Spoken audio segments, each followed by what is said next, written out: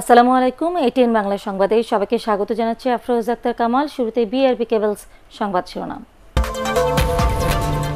পাঁচ শতাংশ সুদে চাষিদের জন্য পাঁচ হাজার কোটি টাকার প্রণোদনা ঘোষণা প্রধানমন্ত্রীর সারের জন্য ভর্তুকি নয় হাজার কোটি টাকা।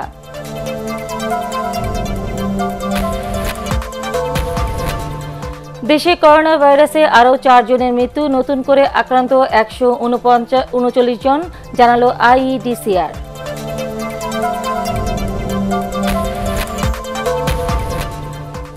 করোনা পরিস্থিতির মধ্যেও সরকারি চাল চুরির মহোৎসব আটক দশজন, এক ইউপি চেয়ারম্যান ও দুই সদস্য বরখাস্ত।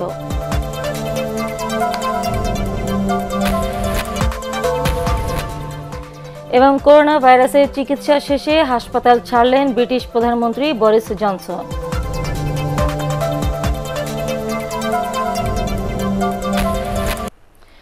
করোনা পরিস্থিতির ক্ষতি মোকাবেলায় ক্ষুদ্র ও মাঝারি চাষিদের জন্য পাঁচ শতাংশ সুদে পাঁচ হাজার কোটি টাকার প্রণোদনা প্যাকেজ ঘোষণা করেছেন প্রধানমন্ত্রী শেখ হাসিনা।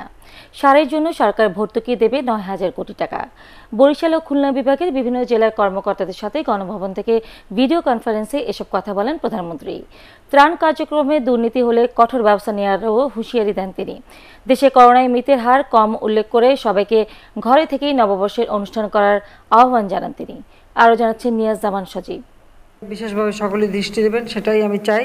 করোনা পরিস্থিতি মোকাবেলায় সরকারের নেয়া পদক্ষেপ কতটা বাস্তবায়িত হচ্ছে তা নিয়মিত তদারকি করছেন প্রধানমন্ত্রী শেখ হাসিনা। তারই অংশ হিসেবে বরিশাল ও খুলনা বিভাগের বিভিন্ন জেলার কর্মকর্তাদের সাথে রোববার ভিডিও কনফারেন্সে কথা বলেন প্রধানমন্ত্রী। করোনা ভাইরাসের প্রাদুর্ভাবের কারণে সারা দেশ প্রায় স্থবির হয়ে পড়েছে। উল্লেখ করে তিনি কৃষিখাতের সুবিধার জন্য বিশেষ প্রণোদনা প্যাকেজ ঘোষণা করেন।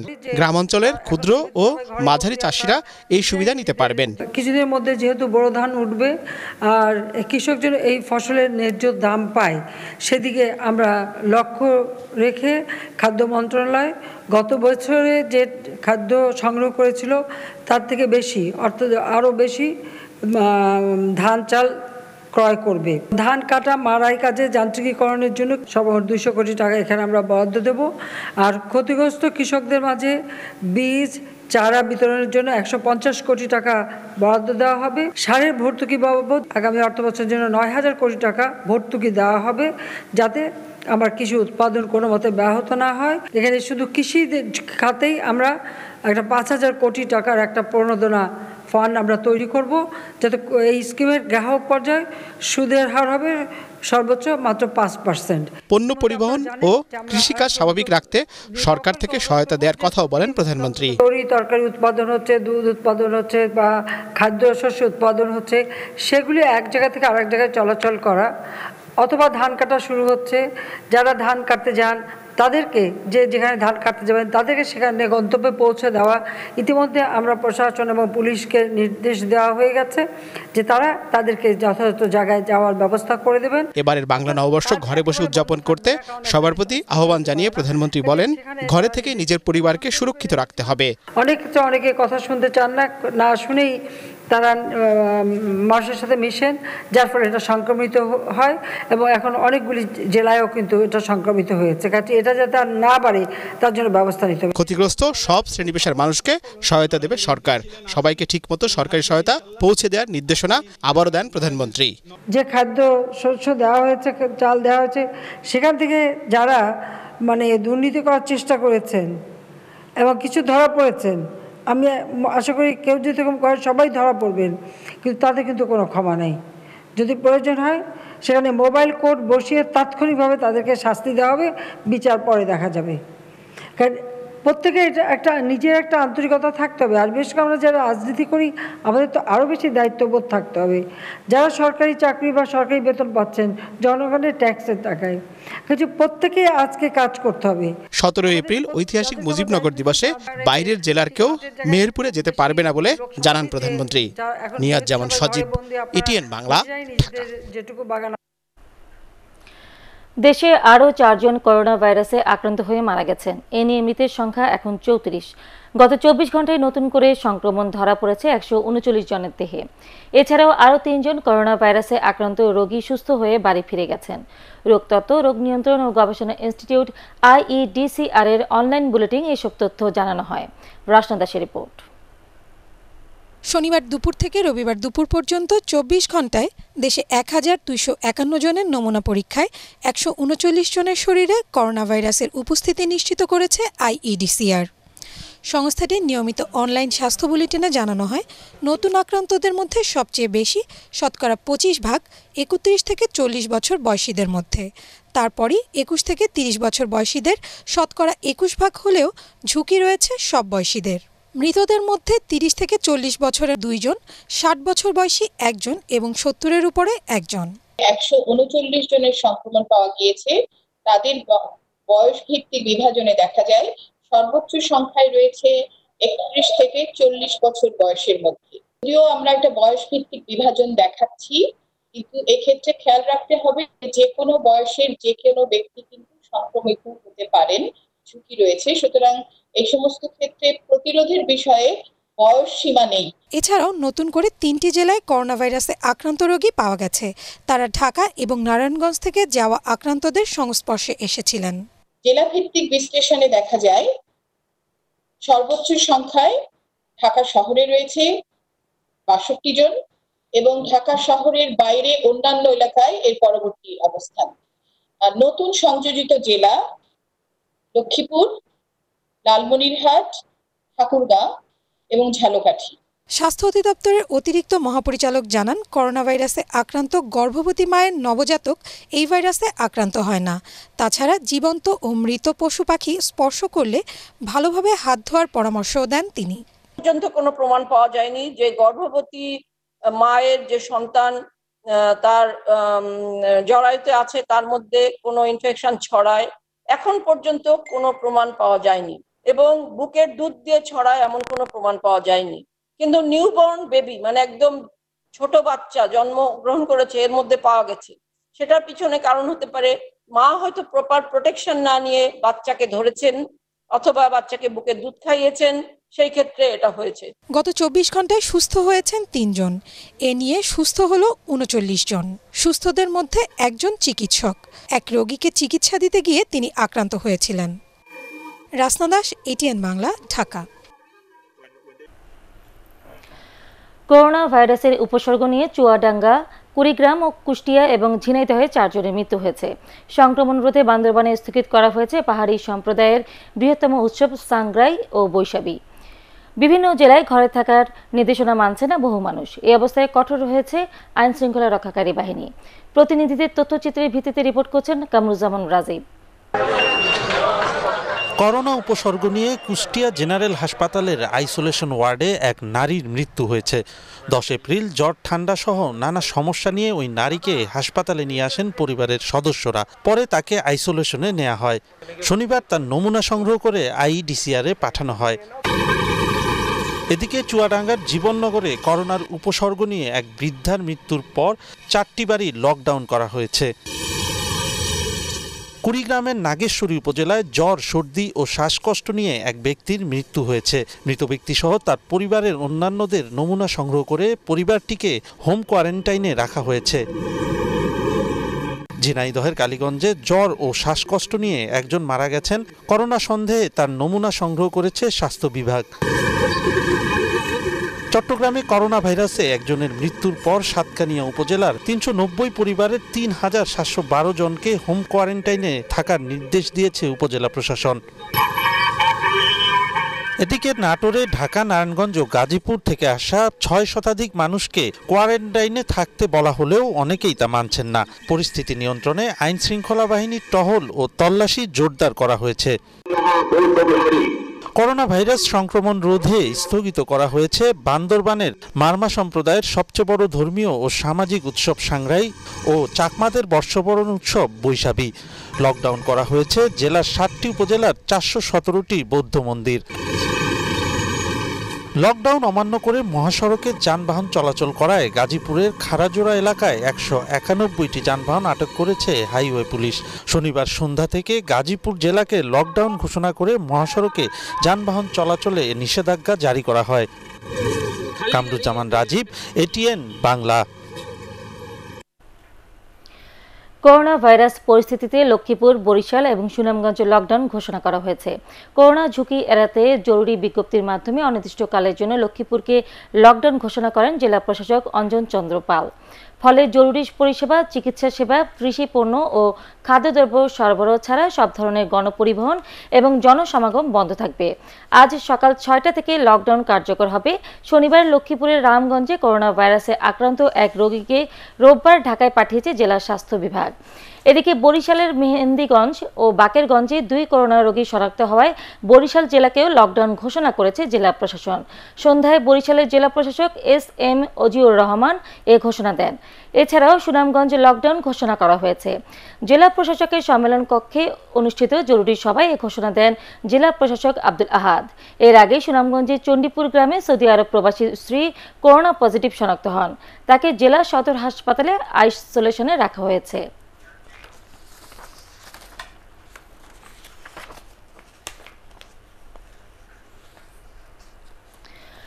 করোনা পরিস্থিতির মধ্যেও দেশের বিভিন্ন স্থানে চলছে সরকারি চাল চুরির মহোৎসব। হতদরিদ্রদের জন্য দেওয়া দশ টাকা কেজি দরের চাল কালোবাজারে কিনে মজুত করায়। বগুড়ার নন্দীগ্রামে দুজনকে আটক করেছে র্যাব।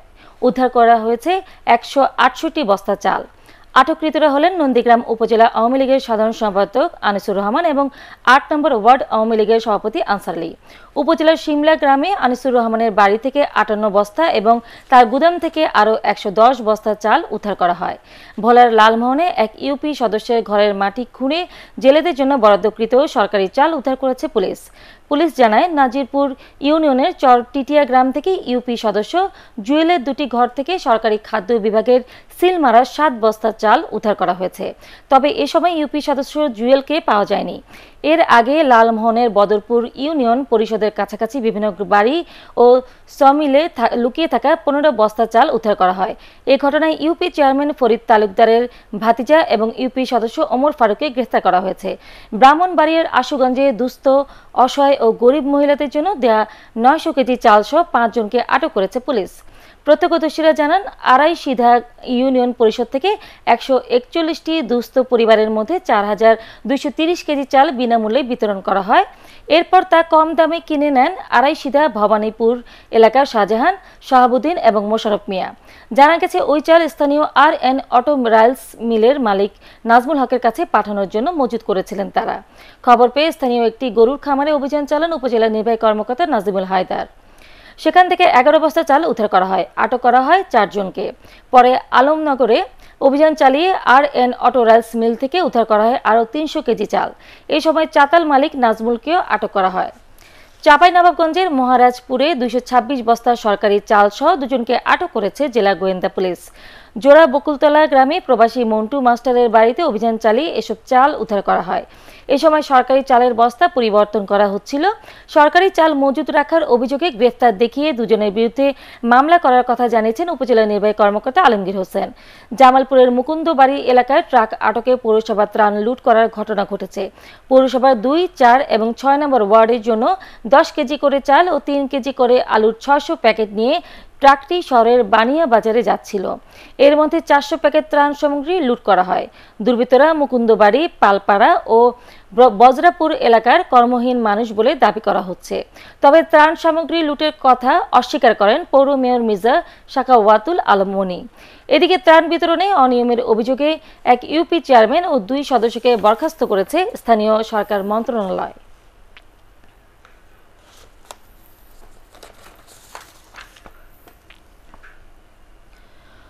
ও এম এস এর চাল কালোবাজারির সাথে জড়িতদের কঠোর শাস্তি দেওয়ার নির্দেশ দিয়েছেন খাদ্যমন্ত্রী সাধন চন্দ্র মজুমদার।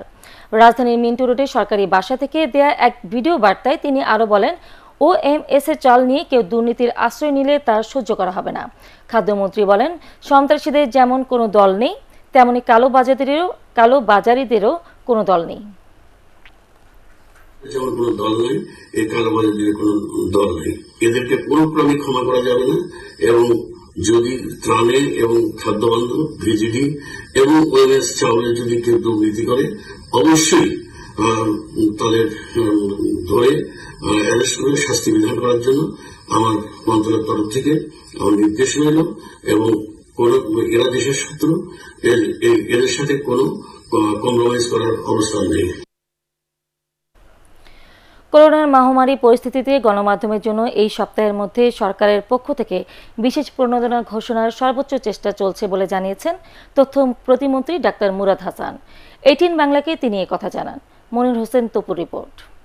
কর্মীদের অ্যাকাউন্টে দিয়ে দেওয়া হবে রোববার বিকেলে এটিএন বাংলার করোনা ও গণমাধ্যম নামে এক অনুষ্ঠানে অতিথি হয়ে আসেন তথ্য প্রতিমন্ত্রী ডাক্তার মুরাদ হাসান। তারা তুলে ধরছে জাতির সামনে।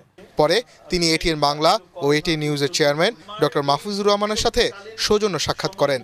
তথ্য প্রতিমন্ত্রী জানান, করোনা মোকাবেলায় অতি দ্রুত গণমাধ্যম কর্মীদের জন্য বিমা ও ঝুঁকি ভাতা দেওয়ার ব্যবস্থা করা হবে। বিপদের সকল চিত্র তুলে ধরছেন আপনারা।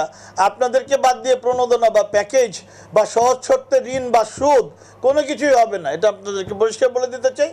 আশা করি এই সপ্তাহের মধ্যেই আমরা আপনাদেরকে জানাতে সক্ষম হব। আমাদের এটিএন বাংলার চেয়ারম্যান জনাব মাহফুজুর রহমান সাহেব এবং সাংবাদিকদের সবচেয়ে বড় আমি বলব নেতা জনাব ইকবাল সুবহান চৌধুরী সাহেব সহ আমরা বসেছিলাম আলোচনা করেছি। এই আলোচনা আমরা আরও দীর্ঘ পরিসরে করার জন্য সিদ্ধান্ত গ্রহণ করেছি। তিনি আরও জানান সাংবাদিকদের যদি কেউ করোনায় আক্রান্ত হয় বা মৃত্যুবরণ করে সেক্ষেত্রে বিশেষ প্রণোদনার কথা চিন্তা করছে সরকার। আমাদের মালিক পক্ষ অত্যন্ত ঝুঁকিপূর্ণ অবস্থায় পড়েছে। তারাও আমাদের গণমাধ্যম কর্মীদের বেতন ভাতা দিতে পারছে না। তো আমি বেসরকারি টেলিভিশন চ্যানেল বা যারা বেসরকারি আমাদের যে সংবাদপত্রগুলো আছে বা অন্যান্য মিডিয়াতে যারা কাজ করছেন আমরা উভয় পক্ষের দিকটাই বিবেচনায় নিব ইনশাআল্লাহ। এ সময় অনুষ্ঠানটির সঞ্চালক হাসান আহমেদ চৌধুরী কিরণ বলেন দেশে এই পরিস্থিতিতে গণমাধ্যমের কর্মীরা ঝুঁকিতে আছেন। গণমাধ্যমের যে কর্মীরা দিন রাত চব্বিশ ঘণ্টা কাজ করছে তাদের জন্য একটি বিমা হোক ঝুঁকি ভাতা হোক বিশেষ করে এই টেলিভিশন এবং পত্রপত্রিকাগুলো যাতে তাদের বেতন ভাতা দিয়ে প্রদান করতে পারে, সেজন্য এককালীন হোক বিনা সুদে হোক বা স্বল্প সুদে হোক, যাতে একটা প্যাকেজ প্রণোদনা ঘোষণা করা হয়, সেটি আজকের এই করোনা ও গণমাধ্যম নিয়ে অনুষ্ঠানের মাধ্যমে আমি সরকারের কাছে দাবি রাখছি। আলোচনায় আরও উপস্থিত ছিলেন সাংবাদিক নেতা ইকবাল সোভান চৌধুরী ও এটিএন বাংলার উপদেষ্টা, অনুষ্ঠান সমন্বয়ক ও সম্প্রচার তাশিক আহমেদ। মনির হোসেন তপু এটিএন বাংলা, ঢাকা। করোনা ভাইরাসের চিকিৎসা শেষে হাসপাতাল ছেড়েছেন ব্রিটিশ প্রধানমন্ত্রী বরিস জনসন। তবে তার দপ্তর জানিয়েছে, এখনই কাজে ফিরছেন না তিনি। ভাইরাস শনাক্তের দশ দিন পর গত রোববার লন্ডনের সেন্ট থমাস হাসপাতালে নেওয়া হয় বরিস জনসনকে। তিন দিন আইসিইউতে থাকার পর বৃহস্পতিবার বরিস জনসনকে ওয়ার্ডে নেওয়া হয়। হাসপাতাল ছাড়ার পর সরকারি বাসভবন দশ নম্বর ডাউনিং স্ট্রিটে ফিরেছেন তিনি। কাজে ফেরার মতো পুরোপুরি সুস্থ হতে তার আরও কিছুদিন সময় লাগবে বলে জানিয়েছেন চিকিৎসকরা। Stage, obviously, what we're being told is I can only imagine how tough it has been to follow the rules on social distancing. I thank you because so many millions and millions of people across this country have been doing the right thing. Millions going through the hardship of self isolation, faithfully, patiently, and with thought and care for others as well as for themselves. জাতির পিতা বঙ্গবন্ধু শেখ মুজিবুর রহমানের জন্মশতবার্ষিকীতে খুনি আব্দুল মাজেদের ফাঁসির রায় কার্যকর করায় জনগণের কাছে দেয়া প্রতিশ্রুতি বাস্তবায়িত হয়েছে বলে মনে করেন আইনমন্ত্রী আনিসুল হক। দুই হাজার দশ সালের আঠাশ জানুয়ারি বঙ্গবন্ধু হত্যা মামলায় কারাবন্দী পাঁচ আসামির ফাঁসি কার্যকরের পর পলাতক আসামিদের ফিরিয়ে এনে রায় কার্যকর করাকে চ্যালেঞ্জ পূরণের একটি ধাপ হিসেবে দেখছেন আইনমন্ত্রী। জনগণকে প্রতিশ্রুতি দিয়েছিলেন যে বঙ্গবন্ধুর যারা খুনি, তাদেরকে এনে এই রায় কার্যকর করব। আমাদের কাজ এখনও শেষ হয় নাই। আমরা ক্যাপ্টেন বরখাস্ত মাজেদের ফাঁসির কার্যকরের মাধ্যমে এই প্রতিশ্রুতির কিছুটা হতে পালন করেছি। আর যারা বাকি আছে, তাদেরকে ধরে এনে এই রায় কার্যকর করার পরেই আমাদের এই মামলার রায়ের বাস্তবায়ন সম্পন্ন হবে। সময়মতো কার্যকর পদক্ষেপ না নেয় কমিউনিটি পর্যায়ে করোনা ভাইরাস ছড়িয়ে পড়ছে বলে অভিযোগ করেছে বিএনপি। নয়াপল্টনে দলের কেন্দ্রীয় কার্যালয়ে অনলাইন ব্রিফিংয়ে বিএনপি সিনিয়র যুগ্ম মহাসচিব রুল কবির রিজভি অভিযোগ করেন। দুর্যোগ পরিস্থিতির মধ্যেও ত্রা- ত্রাণের চাল চুরি থেমে নেই দাবি করে অবিলম্বে এর বিরুদ্ধে ব্যবস্থা নেওয়ার দাবি জানান রুল কবির রিজভি। জীবন এখন অনেক বেশি অনিশ্চিত। সেখানে কি করে আওয়ামী লীগের লোকজন প্রাণের মালামাল চুরি করে? লোক এদের লজ্জা স্বরূপ সবকিছু অন্ধ করে দিয়েছে। জীবন বিনাশ করোনা ভাইরাসের আক্রমণ ও আওয়ামী লীগের চলছে সমানভাবে আন্তর্জাতিক সংবাদ।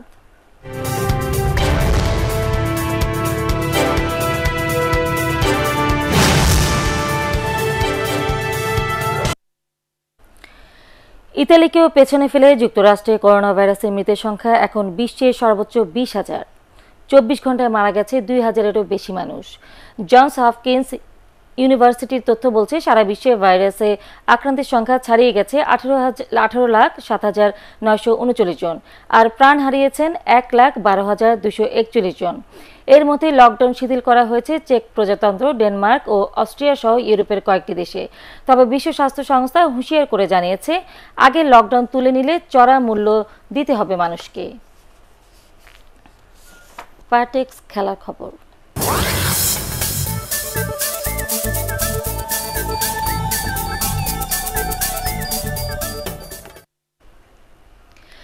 সব ধরনের ক্রিকেট থেকে অবসরের ঘোষণা দিয়েছেন জাতীয় দলের সাবেক পেসার মোহাম্মদ শরীফ। দুই হাজার, দুই মৌসুমে ঘরোয়া ক্রিকেট দিয়ে ক্যারিয়ার শুরু হয় তার। মাত্র পনেরো বছর বয়সে আন্তর্জাতিক ক্রিকেটে ডাক পান দু হাজার এক সালে জিম্বাবুয়ে সফরে। বাংলাদেশের হয়ে দশ টেস্টে চোদ্দ এবং নয় ওয়ানডেতে দশ উইকেট শিকার করেন তিনি। তবে এই ঘোষণার সাথে নিজের একটি ইচ্ছার কথাও জানান মোহাম্মদ শরীফ। করোনা পরিস্থিতি সামলে নিয়ে চলতি মৌসুমে ঢাকা প্রিমিয়ার লিগ যদি আবার শুরু হয়, তাহলে তা খেলেই বিদায় নিতে চান তিনি। আর তা না হলে গত মৌসুমে গাজী গ্রুপের বিপক্ষে খেলাই হয়ে থাকবে তার কেরিয়ারের কেরিয়ারের শেষ ম্যাচ। শেষ করার আগে বিআরবি কেবলস সংবাদ শিরোনাম আরও একবার। পাঁচ শতাংশ সুদে চাষিদের জন্য পাঁচ হাজার কোটি টাকার প্রণোদনা ঘোষণা প্রধানমন্ত্রীর সারের জন্য ভর্তুকি নয় হাজার কোটি টাকা।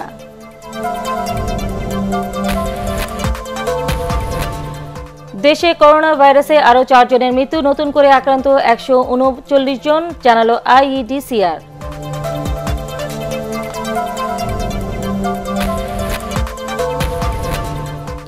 করোনা পরিস্থিতির মধ্যেও সরকারি চাল চুরির মহোৎসব, আটক দশজন এক ইউপি চেয়ারম্যান ও দুই সদস্য বরখাস্ত।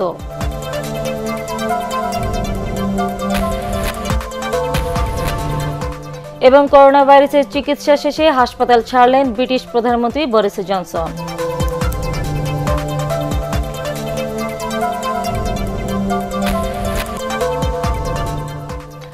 পরবর্তী সংবাদ দেখার আমন্ত্রণ জানিয়ে এখনকার মতো শেষ করছি। সবাই ঘরে থাকুন, নিরাপদে থাকুন। এটিএন বাংলা সংবাদ, ইউটিউবে দেখতে ব্রাউজ করুন YouTube slash ATN Bangla news